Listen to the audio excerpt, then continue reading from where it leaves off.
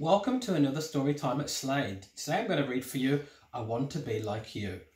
Here we go.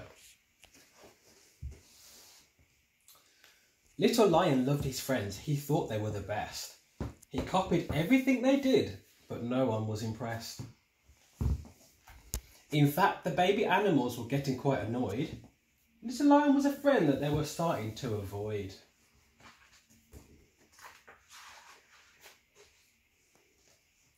Woohoo, he would cry as he tried swinging from tree to tree. I'm exactly like you, Monkey. Everybody look at me. But Monkey replied crossly, Little Lion, don't do that. Swinging is just for monkeys. Don't be such a copycat.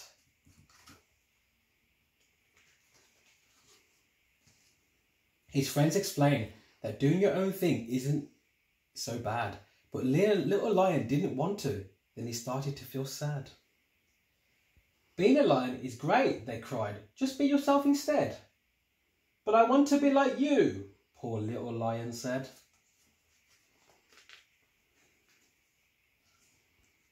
So he stood tall like giraffe and stomped like elephant in the herd. He pretended he had wings and tried to flap them like a bird. He tried to swim with crocodile and slither on the ground with snake until one day little lion made a very big mistake.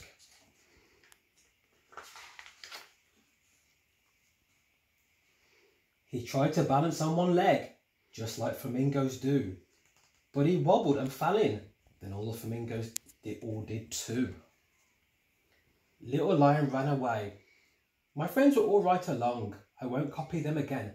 How could I have been so wrong?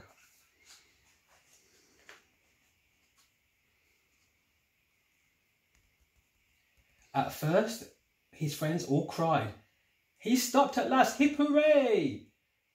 But soon they all missed him and hoped he would come back and play.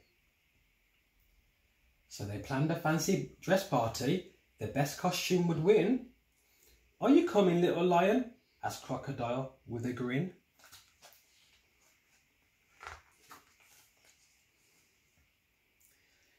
They've forgiven me, he said, for what I did before, I'll show them that I've changed. I won't copy anymore.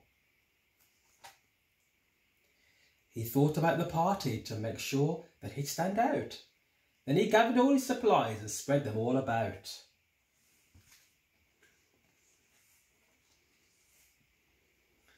I've got it, he cried. I'll make a mane that I can wear. It will look so good that all my friends will stop and stare.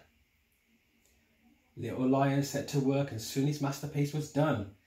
Then the part then the jungle party started and everyone was having fun.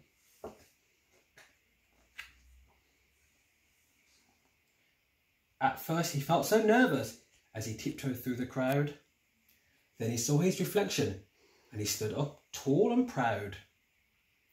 Great costume, little lion, they said. You should win the, the first prize. It felt so good to be himself much to his surprise.